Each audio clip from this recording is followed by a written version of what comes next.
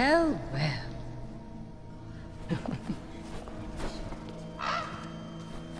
what a glittering assemblage, King Stefan. Royalty, nobility, the gentry, and... How quaint. Even the rebels.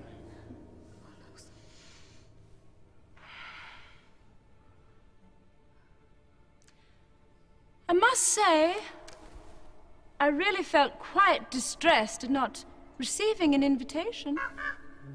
You're not welcome here.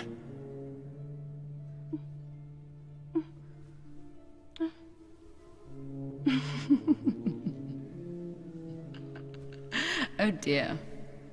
What an awkward situation. You're not offended? Why, no. And to show I bear no ill will, I too shall bestow a gift on the child. No, we don't want your gift. Stay away from the princess. Yes,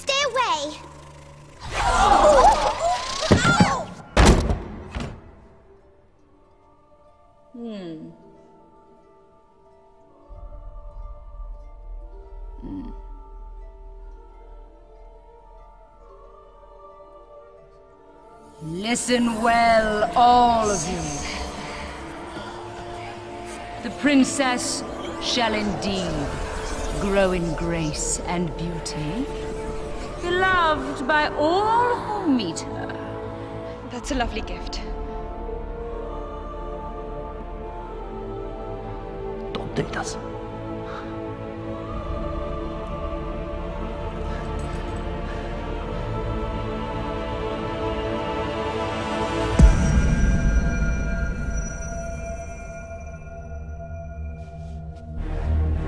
But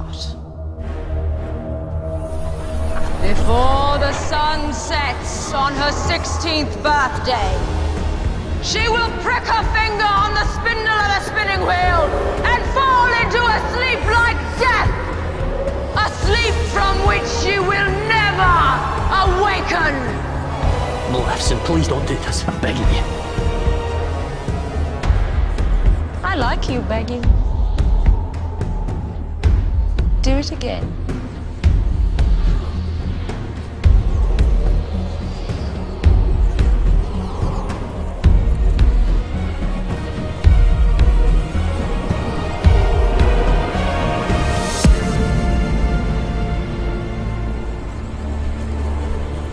I beg you.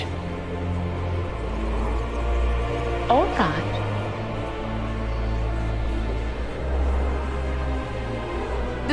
Princess can be woken from her death sleep. But only by true love's kiss.